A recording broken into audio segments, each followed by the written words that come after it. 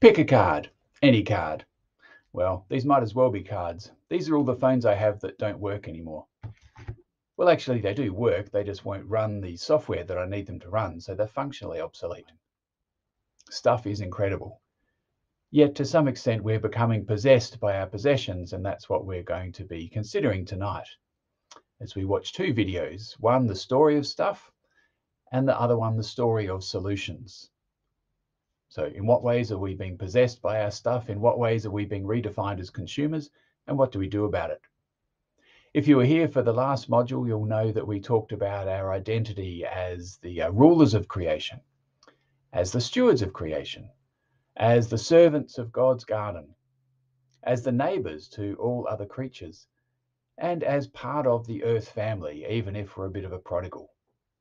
So, with all of those images of what it means to be human in mind, we now look at the ongoing pressures to have us redefine ourselves primarily as consumers.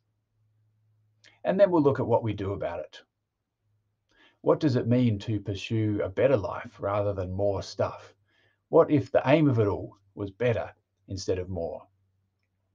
The gospel has a lot to say about this, and hopefully, you had a chance to look at the uh, little selection of readings before this clip started to remind ourselves that Jesus was obsessed about wealth. He was obsessed about stuff and mostly about its ability to get in the way of our relationship with each other and with God.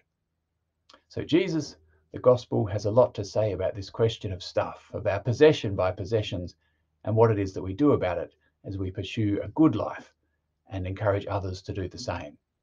I hope you find tonight as challenging as I do and also edifying and motivating to get on with some liberation from our possession. Enjoy.